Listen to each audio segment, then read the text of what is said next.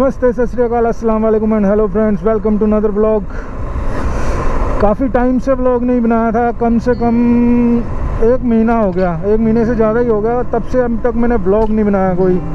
अब क्या करें लो मिडिल क्लास फैमिली में बहुत दिक्कतें चलती हैं, उसके चलते नहीं बन पा रहा था ब्लॉग। आज निकला हूँ ब्लॉग बनाने के लिए। फ़िलहाल जो मैं जा रहा हूँ, यहाँ से चंडीगढ़ से 10 किलोमीटर दूर मंदिर है जयंती देवी का मंदिर, वहाँ पर जा रहा हूँ। चंडीगढ़ में तीन लेक्स हैं।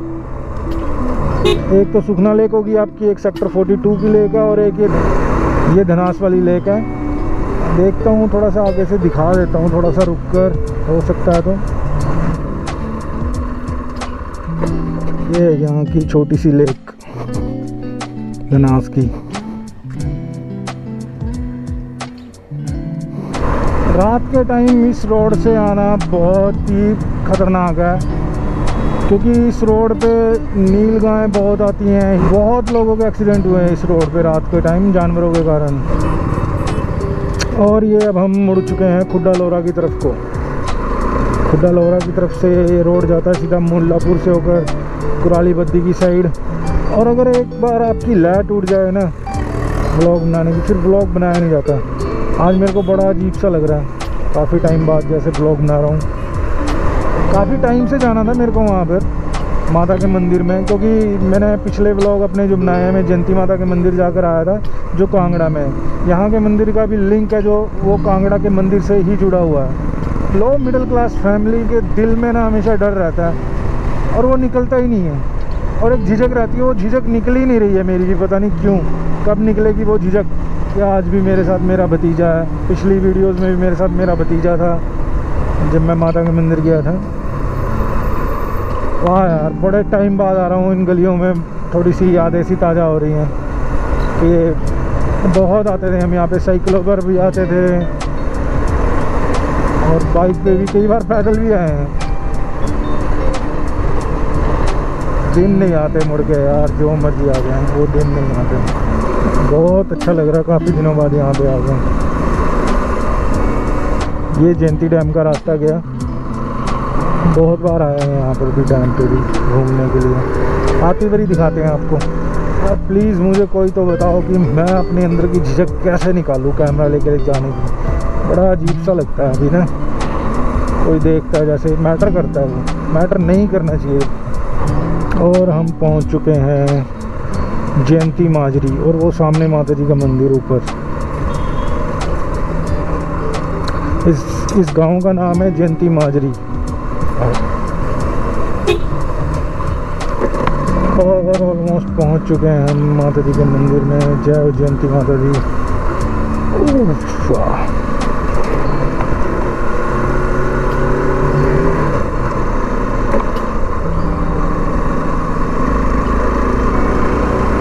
और ये पहुँच चुके हैं हम।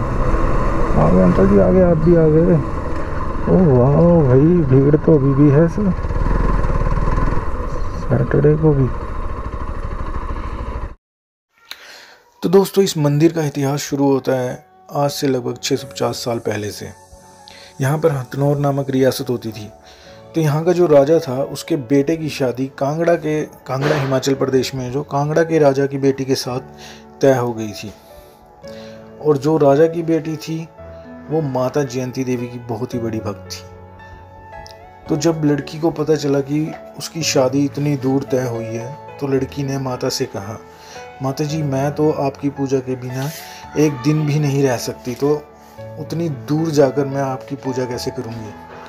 तब एक दिन माता जयंती देवी राजा की बेटी के सपने में आई और उसने कहा कि, बेटी, तुम चिंता मत करो, तुम्हारी डोली तभी यहाँ से जाएगी जब मेरी डोली तुम्हारे साथ जाएगी। तो जिस दिन राजा की बेटी की विदाई होनी थी तो उनकी बेटी की डोली उठाई ही नहीं जा रही थी। राजा परेशान हो गया और उसने अपनी बेटी से पूछा कि ऐसा क्यों हो रहा है? तब लड़की ने सारी बात राजा को बताई। और राजा की बेटी की डोली के साथ ही एक दूसरी डोली भी सजाई गई थी, जिसमें माता जयंती देवी की पिंडी थी और माता जयंती देवी राजा की बेटी के साथ यहाँ से आई। फिर यहाँ के हथनौर के राजा ने यहाँ छोटा सा मंदिर बनवाया, जहाँ पर हर रोज़ पूजा करती थी। लेकिन राजा की बेटी के गुजरने के बाद उसके वंशजों ने माता की पूजा करने से मना कर दिया और माता का माता का अपमान कर दिया, जिसके कारण माता को बहुत ही क्रोध आया। तब माता ने यहाँ पर मनीमाजरा के जंगलों में एक गरीबू नाम का डाकू होता था। तब माता ने उसके सपने में आकर उसको कहा कि आप हथनौर पर चढ़ाई कर दो। तो गरीबों ने ऐसे ही करा, वो भी माता का बहुत बड़ा भक्त था। उसने भी अपने साथियों के साथ मिलकर हथनौर पर हमला बोल दिया और जीत हासिल की। जिसके बाद वो राजा बन गया और गरीबों ने जो अपना महल था, जो अपना किला था, वो यहाँ के जो मुल्लापुर गरीबदास है, इस टाइम वहाँ पर बनवाया था। और जो गरीबू का बेटा था, उसने मनसा देवी का मंदिर बनवाया। तो कहा ऐसा भी जाता है कि जो ये जयंती माजरी गाँव है, इस पे माता का श्राप दिया हुआ है, क्योंकि ये सारी उस टाइम हथनौर रियासत होती थी। माता से ऊपर कोई नहीं हो सकता यहाँ पर। इसलिए माता का जो मंदिर है वो बिल्कुल टॉप पे ऊपर पहाड़ी पर। वो भी एक मंजिला इमारत है, इसलिए पूरे गाँव में कोई भी बहुमंजिला इमारत नहीं बनाता। मतलब कि दो मंजिला मकान नहीं बनाता है। सिर्फ़ एक मंजिला ही मकान है पूरे गाँव में। और सुनने में आया कि कईयों ने कोशिश भी की थी कि डबल स्टोरी मकान बना लिया जाए, लेकिन जिन्होंने भी कोशिश की उनके साथ कुछ ना कुछ बुरा हो गया, इसलिए कोई भी दो मंजिला इमारत नहीं बनाता। तो इस वाले जो मंदिर है यहाँ की, ये कहानी है। बहुत ही इंटरेस्टिंग कहानी है। और जो मेन मंदिर है कांगड़ा, हिमाचल प्रदेश में, वो किले के टॉप पर है, सामने पहाड़ी पर। मैं पहले कांगड़ा के मंदिर की, जो कांगड़ा, हिमाचल प्रदेश में माता जयंती देवी का मंदिर है, उसकी वीडियो बना चुका हूँ। उसका लिंक मैं डी बॉक्स में दे दूँगा, आप वो भी देख सकते हो। वो भी बहुत ही बढ़िया है, वहाँ का भी नज़ारा।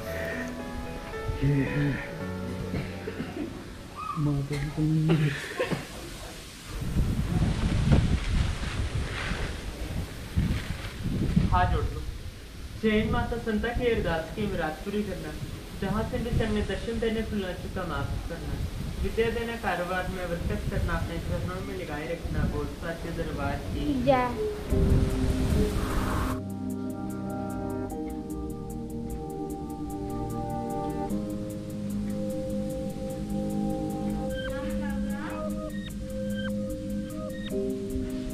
अब माता जी के दर्शन करने के बाद यहाँ पर आगे जाकर शिव जी का मंदिर है। वहाँ के भी दर्शन करने ज़रूरी है तभी आपकी यात्रा संपूर्ण होगी। उसके बारे में यहाँ पर ये स्पेशल बोर्ड भी लगा हुआ है।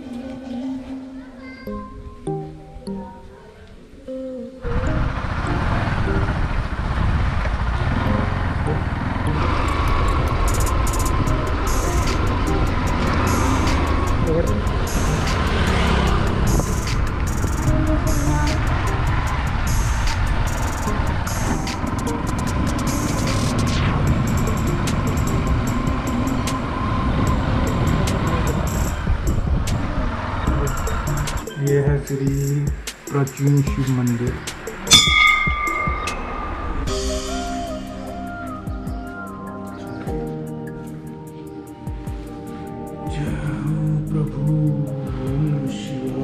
माता जयंती देवी के दर्शन करने के बाद यहाँ दर्शन करने बहुत ज़रूरी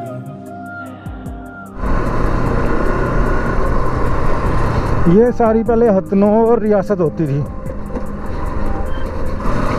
ये सारा जयंती माजरी गाँव है। अब इस गाँव को आप किसी भी घर को देख लीजिए। यहाँ पे सिर्फ़ आपको सिंगल स्टोरी ही मकान मिलेगा। ये देख लीजिए, सारे, सारा गाँव सिंगल स्टोरी में है। क्योंकि इसका, इस गाँव को माता का श्राप मिला हुआ था। इसलिए यहाँ पर कोई भी डबल मंजिला, दो मंजिला इमारत नहीं बनाता है। क्योंकि जो माता का मंदिर है, वो भी एक मंजिला इमारत में ही है। इसलिए, ये देख सकते हैं आप। यहाँ पे कोई भी दो मंजिला इमारत नहीं बनाता। है कहते कई बार कईयों ने कोशिश भी की थी, लेकिन फिर उनके साथ बुरा हो जाता था, इसलिए कोई भी नहीं बनाता। ये शराब है यहाँ पे ना। माता ने दिया हुआ है।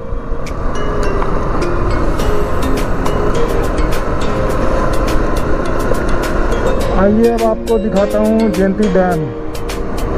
यही नज़दीक में ही है। ये जयंती डैम को रास्ता।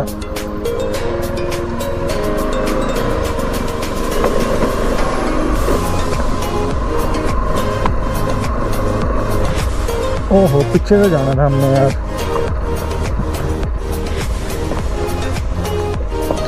यहाँ पे मैं स्टीम भी लेके आया हूँ। हाँ। और ये थोड़ी सी ऑफ़ रोडिंग करते हुए हम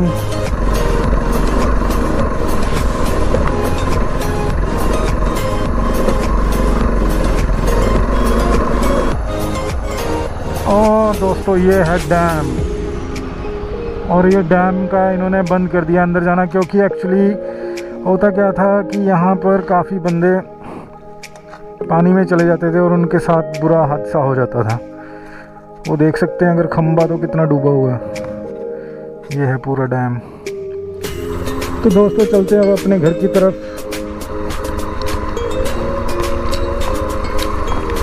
बड़े टाइम बाद आया यहाँ मंदिर में तो काफ़ी अच्छा सा लगा।